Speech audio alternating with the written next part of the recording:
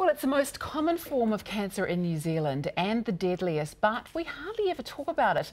The Gut Cancer Foundation is working to raise awareness in their lead up to their fundraiser, National Crunch Day, which is coming up this Thursday, May 31st. Ruth Davy joins us. Good morning to you. Good morning. Now, when you say gut, I have to get this clear first. What are we talking about?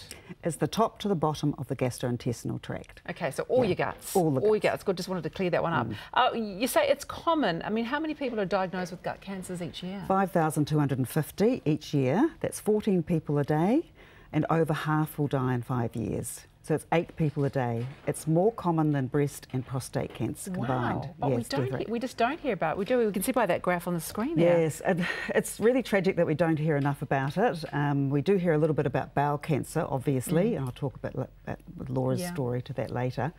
But upper GI cancers, we don't talk enough about Why those either. We? I think there's a lot of fear, um, especially upper GI cancers, because there's only a 20% survival rate on average in five years for upper GI tract. That's esophagus, stomach, liver, um, gallbladder, pancreas. I said pancreas, yeah, probably. No, oh wow, that, yeah. that's that's doesn't sound like great odds. no, um, but if we get it early, and that's really important mm. to look for the symptoms. Um, where bowel cancer and anal cancer, it's two thirds will survive and it's over 3,000 people getting diagnosed with that. So uh, we're the only organisation doing the whole of the gut tract. So Gosh. we've got a big job to do. You've got a very big Huge job, to, job do. to do. So tell me a little bit about Laura Robson. Laura was a young woman who, at the age of 26, was diagnosed after a considerable amount of testing um, with gut cancer, with bowel cancer, and it was difficult to pick up. And she had a blog which was called Terminally Optimistic, and she was determined to beat it, but unfortunately she died in, in early this year. Um, and I'd like to just acknowledge Jeremy and the Brenand family for allowing us to tell her story today. She was a Love Your, Your Gut um, ambassador last year, mm. and she raised funds for cancer, and she wanted to be an ambassador for us. Mm.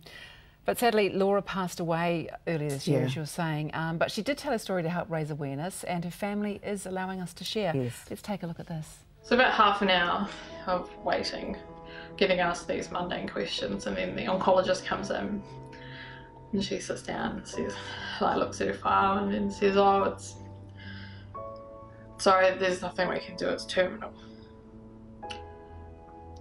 And I was like, well, "What do you mean? There's nothing?" that you can do. And she goes, oh, well, we can start chemotherapy, but that's will be about prolonging your life. We can't cure what you have. And and I said, well, I'm 26. How does that work? How do, how can you be fine, and then all of a sudden you're being told that your life's getting taken away from you? It's wonderful that Jeremy let us share that. Um, mm. Um, what, what can we learn from Laura's experience? Well, there's a campaign on with um, bowel cancer in New Zealand at the moment for under 50 year olds, and 300 under 50 year olds a year are getting diagnosed with bowel cancer. Um, so, you know, you, you, can't, none of us can be complacent. We need to all be thinking about the symptoms of bowel cancer, even under 50 years of age. But what are the symptoms? For, well, for, for bowel cancer, it's bleeding from the bowel, weight loss, anemia, tiredness, any, any pain, abdominal pain that's severe, wakes you up at night time. It can be intermittent, often it's continuous, but it can be random. Mm. So you've also got to be aware of your family history. So, mm. you know, if you've got, I had an aunt, great aunt who died of bowel cancer in her 40s and another aunt at 85. And I've had pre-cancer myself and that was in my 40s. And I mm. wouldn't be here today if it wasn't for modern medicine. So you just got to make sure that if you have anything that's a bit strange, mm -hmm. go and go see the and doctor and just you know start getting things, mm. start the, the process. So tell me a little bit about National Crunch Day then. Well, love your guts, okay? We're wanting people to love your guts. Exercise and diet are really important. Yeah. We know that. More fibre you get and exercising. So to make the campaign more relevant, we've done gut crunches or sit-ups. And everyone goes, gut crunches, I'm not going to do gut crunches. And we say, well, they're not that hard hard yeah. on our website, Love Your Guts. Yeah. You can do five to 500, and some people do, we ask them to do 50 in five minutes and register themselves on our website and ask people to sponsor them. And people are so generous. Oh, my sister and I have just raised $2,000. Well, that's great. We're at the top of the leaderboard, and come on, everyone. you got to get beaten somehow. Love your guts. We, I, I can't be the leader because I can't win, to, win the trip to Samoa. I'm staff.